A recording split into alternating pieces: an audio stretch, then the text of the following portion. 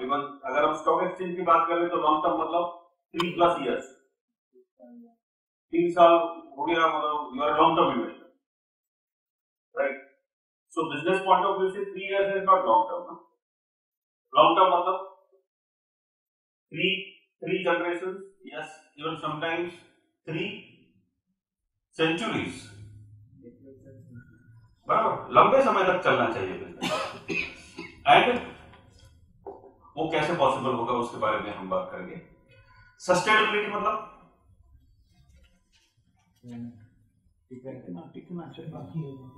Right टिके रहना okay so long term sustainability business को कैसे मिलेगी उसके बारे में हम बात करेंगे।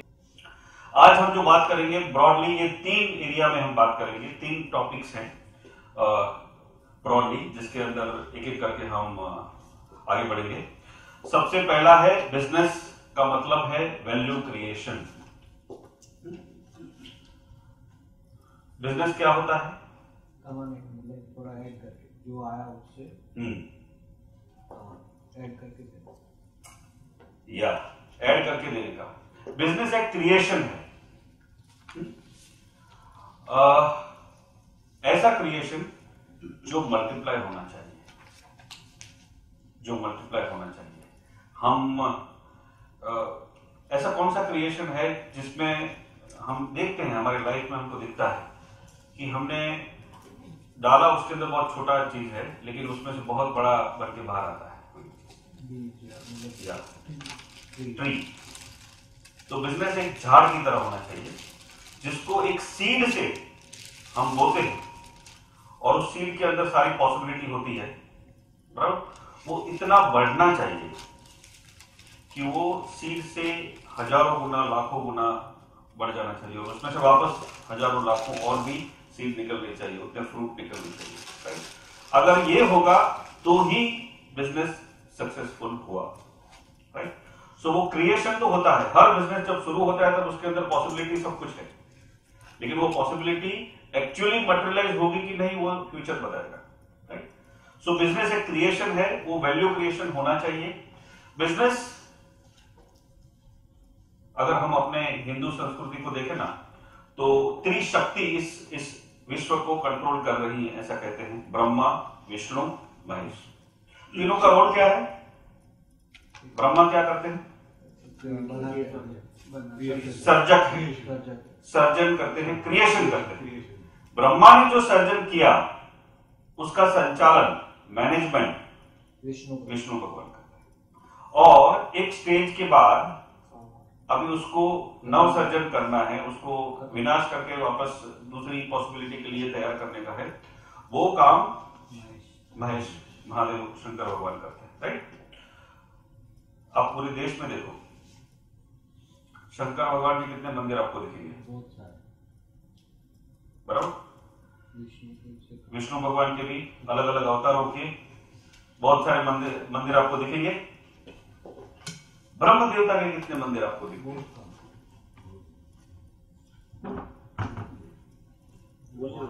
एक ही एक ही वेरी रेयर वेरी रेयर बराबर? ऐसा क्यों? ऐसा क्यों? तो मतलब है देखो ये समझने जैसी बात है कि इकोनॉमी को जो इकोनॉमी के अंदर जो वर्किंग लोग हैं ना जो वर्किंग पीपल हैं जो काम करते हैं मीनिंग कि गेनफुली एम्प्लॉयड है कुछ ना कुछ काम करने वाले जो लोग हैं जिस जिसके अंदर हम बच्चों को सपोज़ बात कर देते हैं एल्डर जो रिटायर हो गए उनको भी बात कर देते हैं या हाउस वाइफ हैं जो घर का ध्यान लेते हैं उनको भी बात कर देते हैं। बाकी जो पॉपुलेशन बचा जो कि कुछ काम कर रहा है बराबर? बाकी जो लोग जो काम कर रहे हैं उतने उन लोगों को अगर हम देखते हैं सो so, उस वर्किंग पॉपुलेशन में से कितने परसेंटेज लोग अपना खुद का बिज़नेस हैं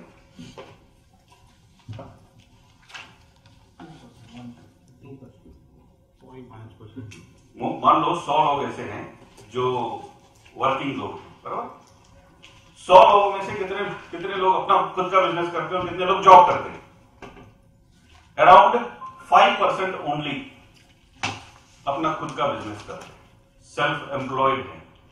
बाकी के 95 percent people work for somebody else right so इसीलिए ये पॉपुलेशन माइनॉरिटी में ही है। उसके बावजूद भी, अगर आप देखेंगे, सबसे ज़्यादा स्ट्रगल जो है, सबसे ज़्यादा स्ट्रगल बिजनेसमैन को ही है बिज़नेस पीपल को ही है। गवर्नमेंट के रेगुलेशंस बहुत सारे ब्यूरोक्रेसी उनके खिलाफ होती है। पब्लिक ओपिनियन भी ऐसा ही होता है कि बिजनेसेस हमको हमेशा चीट करने के लिए सब कुछ कर रहे हैं ये एक बिलीफ है ये एक बिलीफ है। सो बहुत मुश्किल है एक बिज़नेस पर्सन होना हमेशा क्योंकि ये ब्रह्मा का काम है देखो उसकी पूजा नहीं होती। ब्रह्मा की पूजा नहीं होती ना कम से कम होती है कम से कम होती है। सो so, बिज़नेस का काम करना is fulfilling Brahma's responsibility. Raj bhai, welcome. Great bhai. And all DBN members, अजी बहुत सारे लोग आए नहीं हैं. नौ बजे नहीं है ना? अनिल भाई आते हैं. Right? Sadly, sir, fan of the book. Thank you very much. अच्छा ये आपका खुद का कॉपी कभी लिया? साहब एक और जुड़ी सर तब पब्लिश करी तैयार थी अरे right thank you very much right unfortunately हमारे नौ नौ बजे बज जाते हैं फॉर योर काइंड इन्फॉर्मेशन मैं ये हमेशा बोलता हूँ मतलब इन ऑल माय सेशंस कि in business punctuality matters the most for me this is work but in your business also आपकी ऑफ़िस दुकान वर्कशॉप शोरूम फैक्ट्री जितने बजे खुलती है, उतने बजे ही खुलनी चाहिए। Customer eight o'clock is eight o'clock four o'clock is four o'clock four zero one is late बराबर वो ध्यान I mean, we have to remember this because that is the promise we have to make. Anyway, so here you have a liberty because you are a customer. तो customer is God, hmm? customer is goddess. Right? तो उसको सब कुछ मंजूर है but still so we are talking about कि business करना difficult है डिफ़िकल्ट है क्योंकि ये ब्रह्मा के जैसा मुश्किल काम है। थैंकलेस जॉब है। थैंकलेस जॉब है। क्योंकि गवर्नमेंट को ऐसा लगता है ब्यूरोक्रेट्स को ऐसा लगता है पब्लिक को ऐसा लगता है कि बिज़नेस वाले चीट करते हैं, बराबर? टैक्स की चोरी करते हैं, ये करते हैं, वो करते हैं। एंड इसके लिए उसको सबसे ज़्यादा पनिश करो राइट सो ये सारी विषमताएँ हैं, जो एडवर्स कंडीशन हैं, उसके बावजूद भी हमको सरवाइव होना है। दैट इज़ चैलेंज सो ये ब्रह्मा का रिस्पॉन्सिबिलिटी सारे बिजनेसेस नहीं निभा पाते। हैं हर बिज़नेस जब शुरू होता है तब ख्वाहिश तो यही होती है कि एक बीज जो बोया है बहुत बड़ा एक वृक्ष बनेगा ऐसा। ऐसी इच्छा तो होती। बराबर ना? जब भी उद्घाटन होता है तभी तो इसी इच्छा, इच्छा के साथ होता है ना कि यस एक बहुत बड़ा फले फूले ऐसा झाड़ बने। लेकिन हम देखते हैं कि बहुत सारे जो झाड़ है या बहुत सारा ऐसी जो शुरुआतें हैं वो बहुत बुरी तरह से पिट जाती है, खत्म हो जाती है हमारे पास बहुत सारे एग्जाम्पल्स हैं। ये बड़े बड़े फ़ेमस एग्ज़ाम्पल बराबर? बहुत फ़ेमस एग्जाम्पल्स है।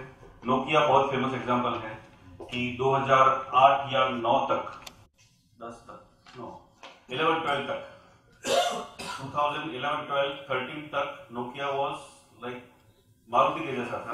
इंडिया में जैसा मारुति है नोकिया का रोल था। नोकिया के पहले अगर पता होगा आपको तो किसका रूल था मोबाइल में? ब्लैकबेरी हाँ अगर आपके पास ब्लैकबेरी नहीं है तो तुम गरीब आदमी हो। उस वक्त ऐसा था।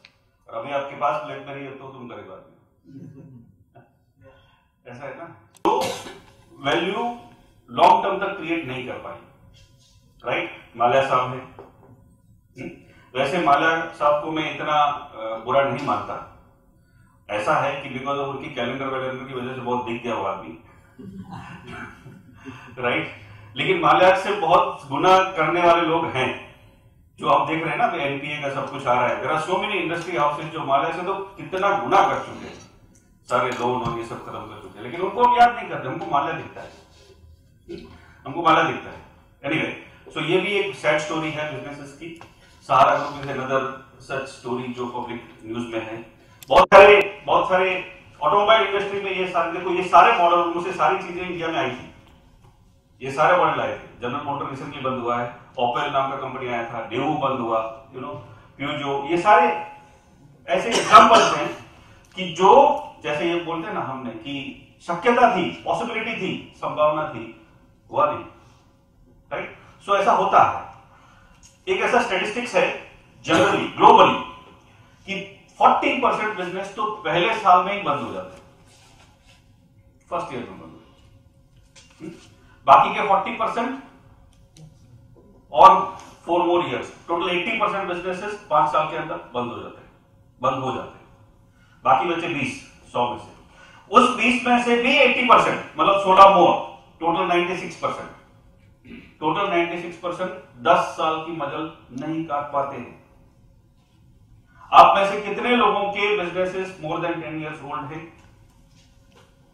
Congratulation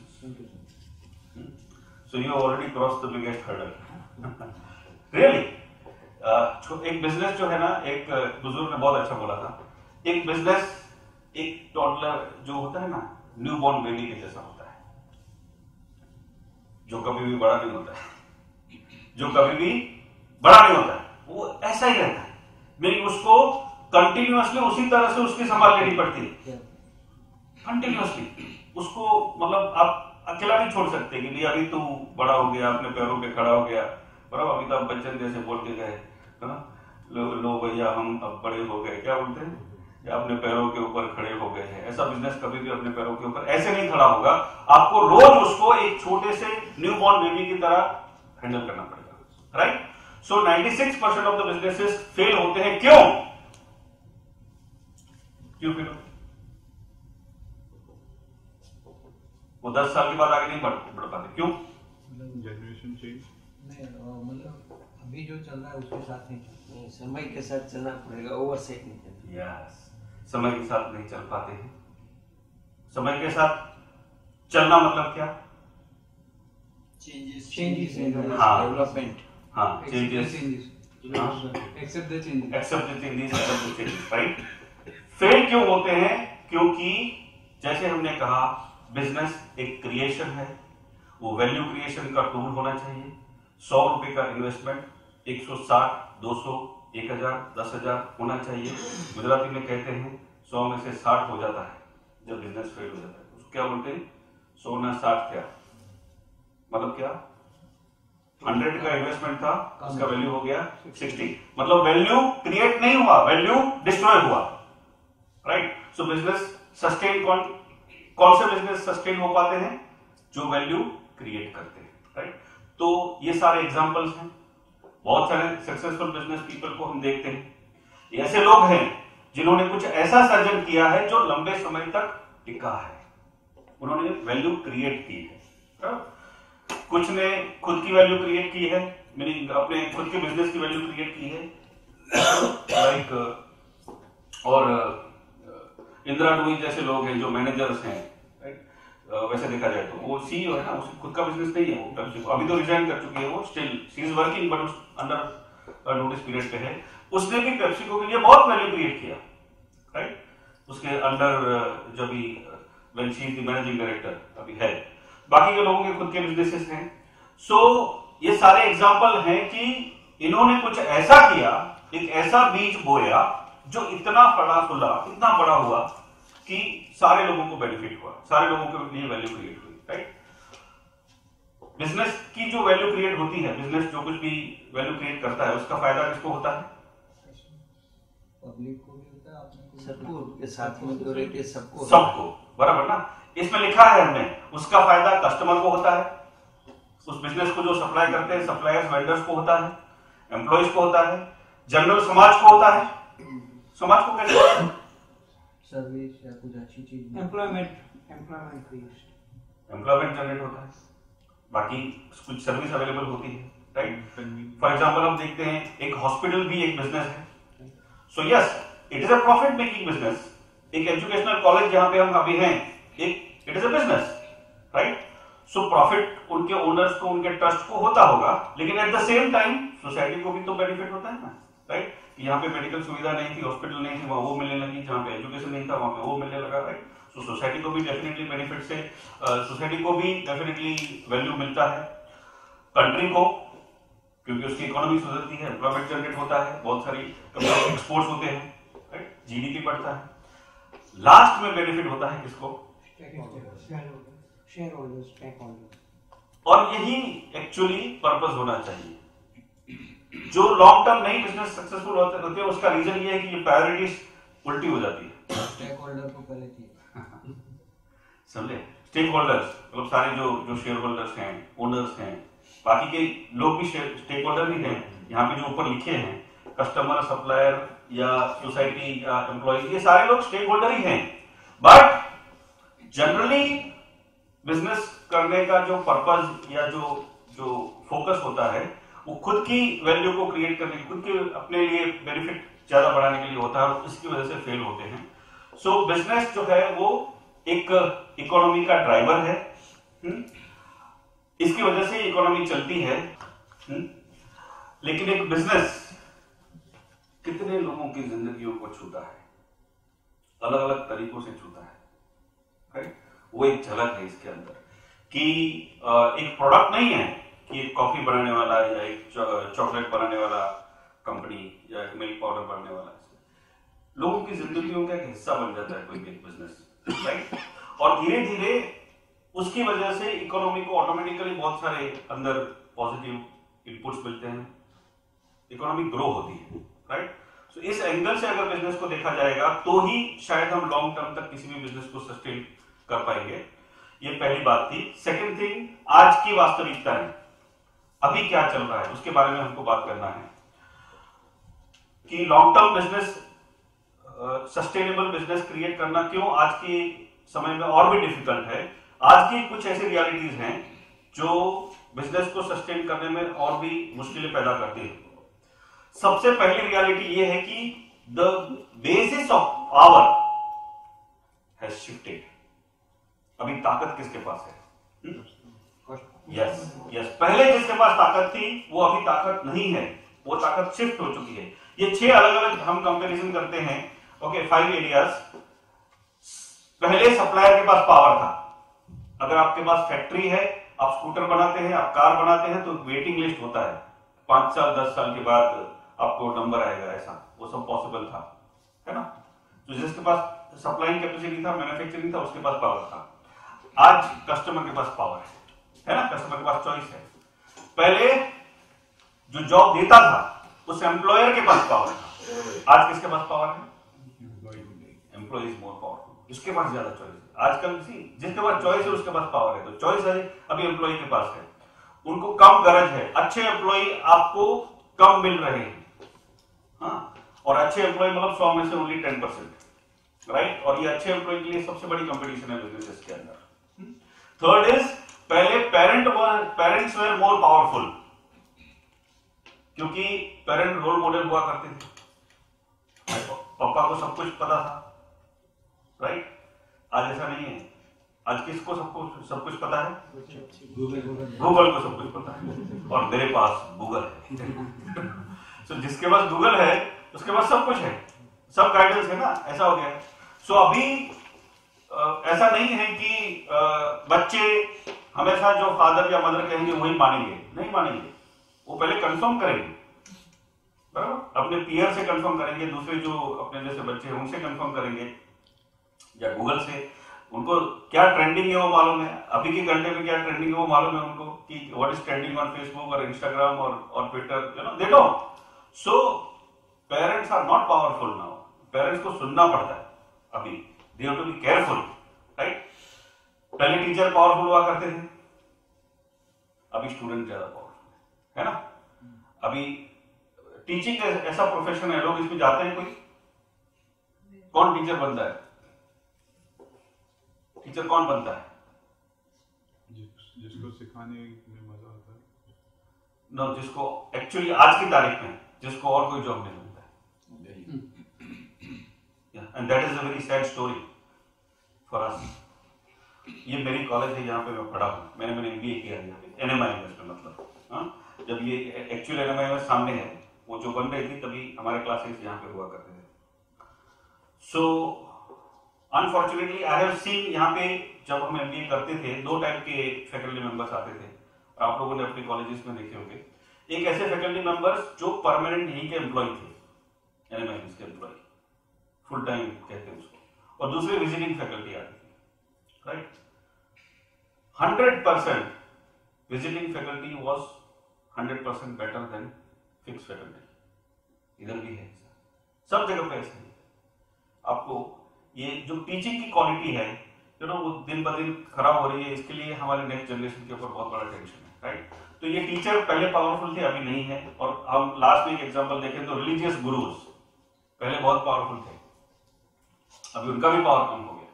क्योंकि अभी डिसेबल्स के बाद बहुत सारे चॉइस है ना। बहुत सारे गुरु हैं। बहुत सारे कितने अलग अलग टाइप के बाबा अलग अलग टाइप की philosophy everything is accessible now everything is available right कुछ तो खाली ब्लू पेन रखोगे तो तुम्हारा प्रॉब्लम सॉल्व हो जाएगा ऐसे भी लोग हाँ? है? ना? सॉल्यूशंस अलग अलग टाइप के अवेलेबल है। हाँ? समोसा खा लो समोसा लाल चटनी के साथ खा लो कल प्रॉब्लम सॉल्व हो जाएगा तुम्हारा।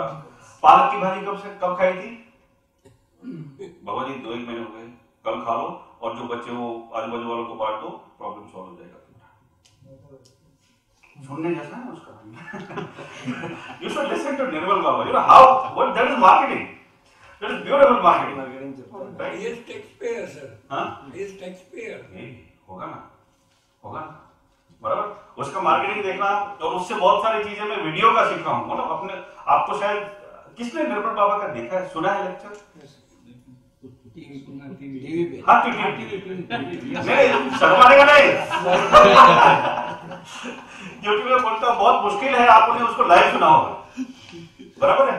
वो वो कभी शांति से दिखाऊँगा आपको बाकी वसंत भाई बताएँगे कि वो वीडियोग्राफी कैसे करते हैं।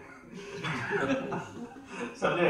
ऐसा भी हम बता सकते हैं राइट अभी इधर यहाँ पे यहाँ पे तीस चालीस पचास लोग होंगे और हम तीन तीन चार हज़ार कैसे निकालेंगे यहाँ पे?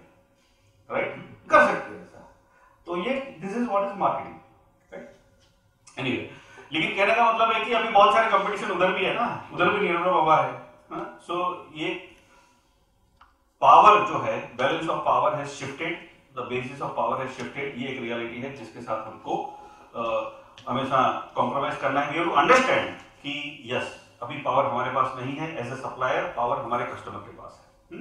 सेकेंड थिंग इज़ कस्टमर बदल रहा है। हम्म? है ना? एक ही घर में, आप ही के घर में दो दुनियाएँ एक साथ बसी हुई है अभी, भी अभी जी रही है। यहाँ पे भी कुछ लोग बैठे हैं हाँ? मोस्ट ऑफ़ मेरी जनरेशन के हैं हाँ? चार पाँच लोग नेक्स्ट जनरेशन के हैं, है ना? अभी ये दो जो दो जनरेशन में बहुत बड़ा फ़र्क है, बहुत बड़ा फ़र्क है। लेफ़्ट हैंड साइड में जो साहब बैठे हैं, उनके दिन की शुरुआत कैसे होती है? न्यूज़पेपर पढ़ते हैं। उनको पता चलता है कि पिछले 24 घंटों में क्या हुआ। और राइट हैंड साइड में जो चटनी में साहब बैठे वो कल रात को सोया था, तभी उसको मालूम था कि क्या हुआ था। बराबर? जो उसका फादर अभी पढ़ रहे हैं, बच्चे को कल ही मालूम था, क्योंकि उसके ऐप ने उसको नोटिफिकेशन दे दिया था, जो भी है। उसके लिए न्यूज़पेपर क्या का Right? ये फ़र्क है। है ना? अपने घर के अंदर भी ऐसा है। फादर को कुछ खरीदी करना है तो दुकान में जाते हैं। कैश पैसा देते हैं। इसको कुछ खरीदी करना है तो माल घर पे आता है। राइट ऑनलाइन पेमेंट करता है। पचास तरीके हैं ऑनलाइन पेमेंट करने के भी से पेमेंट करता है। हाँ। ईएमआई है। क्रेडिट कार्ड है बहुत सारे वॉलेट्स है डेबिट कार्ड बहुत कितने सारे तरीके हैं। अच्छा फादर को कोई बिल भरना है इलेक्ट्रिक का टेलीफोन का कोई भी एक बिल तो लाइन में खड़े रहेंगे। बच्चा लाइन में नहीं खड़ा रहेगा है ना? ओके कुछ उसको कहीं पे जाना है डायरेक्शन लेना है कि यहाँ से मिठी भाई कॉलेज कैसे जाने का या कहीं पे कैसे जाने का। तो फादर पूछेंगे पहले विले पाले उतरने का या बाय रोड जा रहे हो तो हाईवे से राइट टर्न लेने का ये करने का सब इतना सारा पूछेगा। बच्चा किसी को पूछेगा नहीं? गूगल मैप को बाहर गाँव जाना है या बाहर खाने को जाने का है। रेस्टोरेंट, कौन सा रेस्टोरेंट अच्छा है? फादर वापस फ़ोन करेंगे फ्रेंड को, अगर ये रेस्टोरेंट अच्छा है कि नहीं? बाहर गाँव जाना है, ये होटल अच्छी है कि नहीं? ये सब पूछेंगे। लड़का किसको पूछेगा? रेस्टोरेंट में जाना है तो जोमेटो को पूछेगा वर्क को पूछेगा राइट बाहर गाँव जाना है तो ट्रिप एडवाइजर को पूछेगा, समझे? तो ये जनरेशन बदल रही है है ना? सो एज ए बिज़नेस हमको ये ध्यान रखने का है। कि लेफ़्ट हैंड साइड के कस्टमर्स कम हो रहे हैं। और राइट हैंड साइड वाले कस्टमर ये चेंज अगर हम इस चेंज को जागरूक नहीं होंगे तो प्रॉब्लम है। हम्म? क्योंकि राइट हैंड साइड वाले को जो चाहिए, वो चाहिए ना। ऐसे ही चाहिए, क्योंकि बाकी के लोग दे रहे हैं।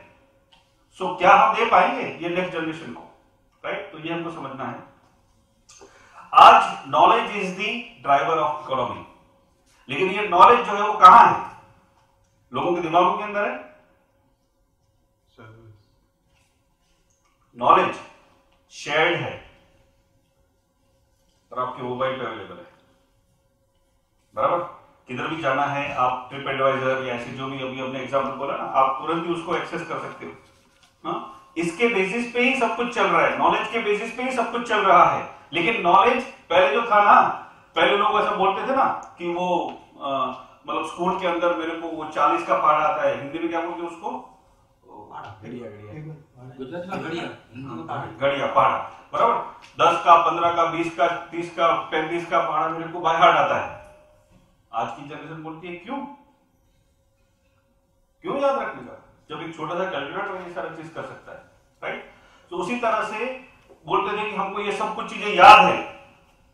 अभी वो याद रखने में कोई प्राइड नहीं है, क्योंकि गूगल को सब मालूम है तो मुझे क्यों मालूम रखने का मैं जब चाहिए तभी गूगल को पूछ लूँगा ना लेटेस्ट बोलेगा मेरे बराबर? इंडिया की पॉपुलेशन कितनी है?